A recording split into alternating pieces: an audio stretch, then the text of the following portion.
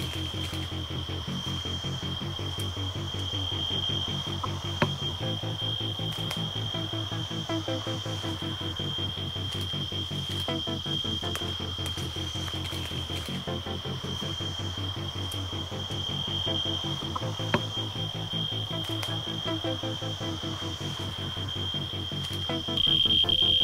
We found this area in 1998.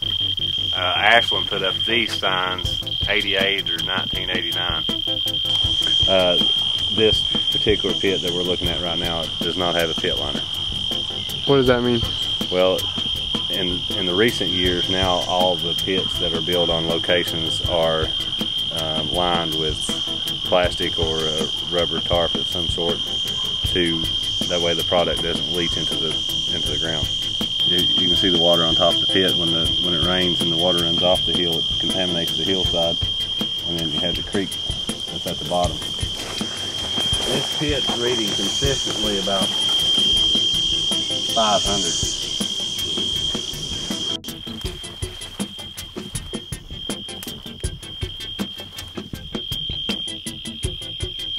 Cubic killings assembly.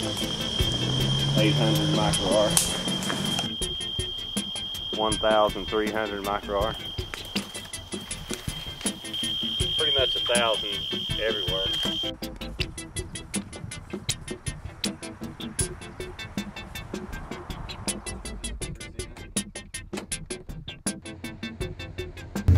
So what uh, what stuff are we gonna be flying over? the uh, radioactive uh, storage facility where they're taking the dirt to dump it. This is the storage facility coming up on the left side.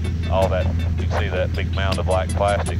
If you, if you can see that rectangle shape on the right, that was the original footprint. Everything to the left was added after they thought the initial cleanup would be done. So it's probably about five times the size of what it originally was.